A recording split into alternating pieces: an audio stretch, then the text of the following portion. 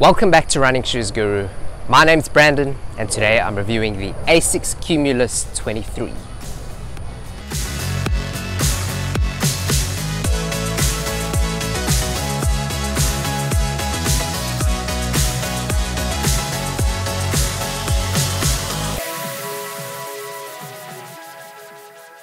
The Asics Cumulus is the textbook definition of a daily trainer.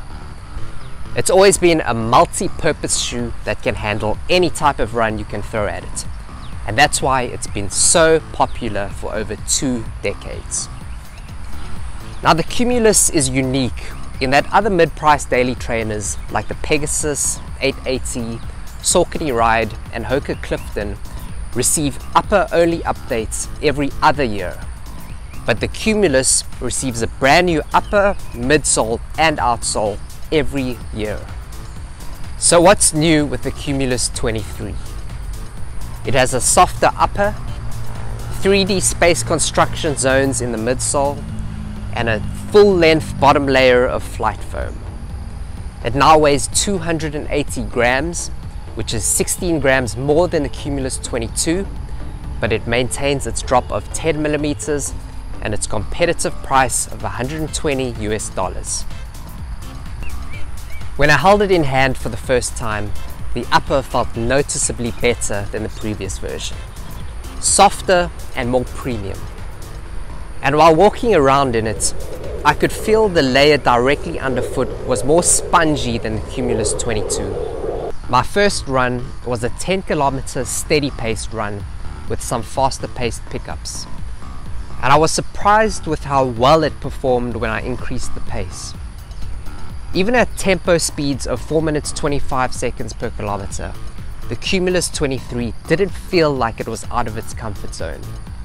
One thing that I noticed was that I could feel the forefoot rubber lugs through the midsole. And that's because the midsole is much softer than the outsole rubber. But after that first impressive 10 kilometer run, I was really excited to test the Cumulus 23 on a variety of runs and paces. The FlyteFoam midsole of the Cumulus 23 is softer, livelier and more versatile than the FlyteFoam midsoles from say three or four years ago. And the high versatility of the Cumulus 23 means that it can handle easy runs, recovery runs, steady paced runs and even long distances of over 40 kilometers.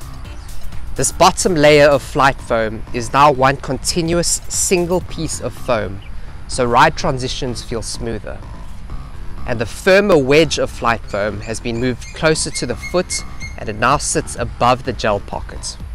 Now when I tested the Nimbus 23 on longer runs, I felt foot fatigue because of how soft and spongy the midsole is but the Cumulus 23 has just the right amount of cushioning to feel efficient on long runs. The Cumulus 23 now has 3D space construction, which are these small hexagonal-like honeycomb shapes that are etched onto the top layer of the midsole. And what these hexagonal shapes do is they act like pillars to allow the midsole foam to compress more in these zones and this gives the Cumulus 23 a softer ride. The grooves on the outsole have been made wider and deeper than the previous version, so the forefoot is now more flexible. There are two types of rubber used on the outsole, Ahar Plus on the heel and Ahar on the forefoot. The densities of the rubbers on the Cumulus 23 are higher than the Nimbus 23. So this leads to firmer landings but increased durability. I've noticed less wear on the Cumulus 23 than the Nimbus 23 after the same mileage, so I've been very happy with durability. I tested the traction during a long run where it poured heavily for three hours straight, and traction was still fantastic. The upper of the Cumulus 23 is a really well-designed upper with enough padding in all the right places to make it comfortable and effective. The tongue is not gusseted like on the Nimbus 23, but it still stays in place during runs and I experienced no tongue slide. The heel tab and the collar are also generously padded and they do a great job of keeping your foot locked in place. I didn't even have to do heel lock lacing. The one downside about this upper is that with all this padding, it absorbs a lot of moisture. So when I ran in the rain, both shoes picked up a ton of weight. The fit of the Cumulus 23 is true to size and there's plenty of space in the midfoot and the forefoot.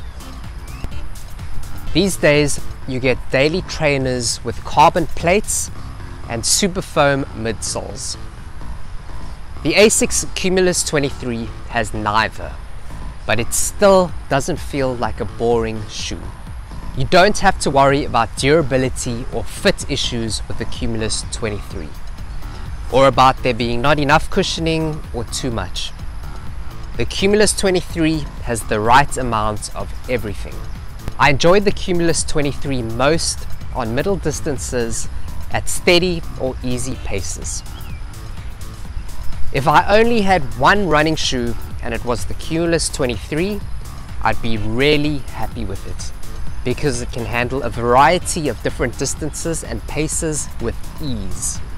If you're a loyal fan of the Asics Cumulus and you buy it every year, you will love the Cumulus 23. Thanks for watching the review right until the end. Please do us a favor and like the video and subscribe to Running Shoes Guru.